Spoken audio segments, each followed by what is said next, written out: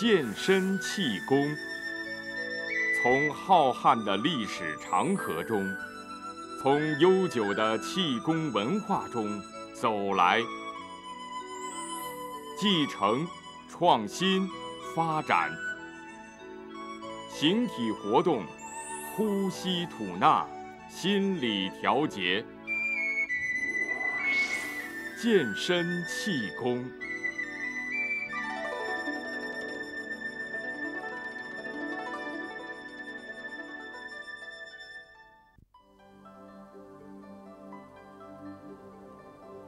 锦，指的是上等的丝织品，在中国文化中，它代表着珍贵而又精美的事物。有一套动作优美、编排精炼、祛病健身效果俱佳的健身气功功法，从古至今深受人们的喜爱。由于它由八组动作组成。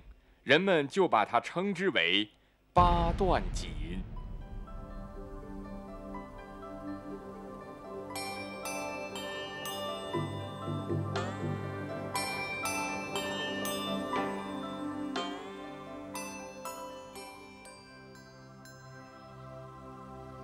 气功是中华传统文化的组成部分，健身气功是以自身形体活动。呼吸吐纳、心理调节相结合为主要运动形式的民族传统体育项目，而八段锦是流传最广的健身气功功法之一。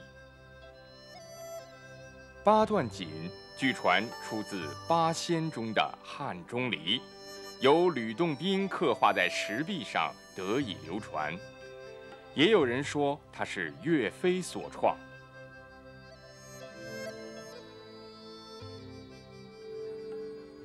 一九七二年，考古工作者在发掘长沙马王堆汉墓的时候，出土了两千一百年前的导引图。导引图是中国古代导引术的动作汇编，而导引术就是现代气功的一种。马王堆汉墓的导引图共描绘了四十几个运动姿势。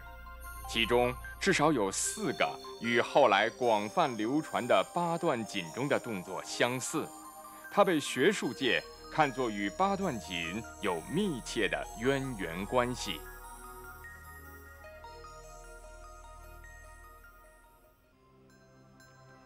八段锦这个名字最早见于北宋洪迈所著的《夷坚志》，《夷坚志》记载，政和七年。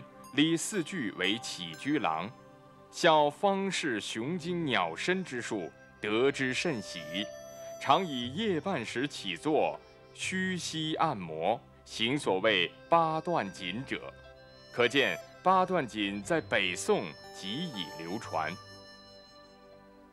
在宋代，八段锦的体式已经有坐式和立式两种。其中立式八段锦后来形成了很多流派，并得到广泛传播。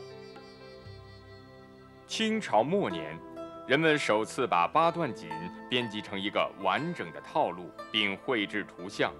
它的歌诀这样概括了八段锦的动作做法和锻炼目的：两手托天理三焦，左右开弓似射雕。调理脾胃须单举，五劳七伤往后瞧。摇头摆尾去心火，两手攀足固肾腰。攥拳怒目增气力，背后七颠百病消。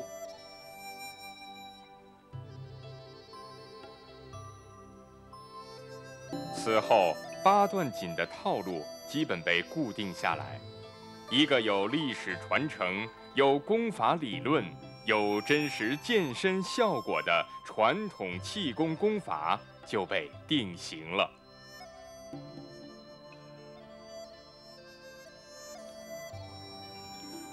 为了让祖国气功文化中的这块瑰宝在当代继续造福人民，国家体育总局健身气功管理中心2001年成立了健身气功课题组，将八段锦作为一个子课题，以传统八段锦为依据，本着去伪存真、去粗取精、推陈出新的原则，对传统八段锦重新加以编创。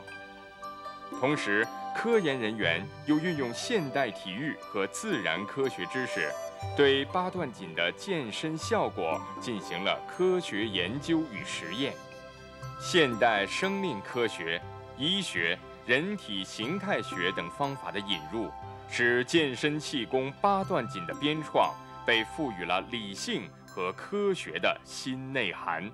而健身气功八段锦编创工作的完成和推广，也证明古老的八段锦不仅没有被岁月的长河湮灭，反而在今人的努力下，焕发出了更绚丽的光彩。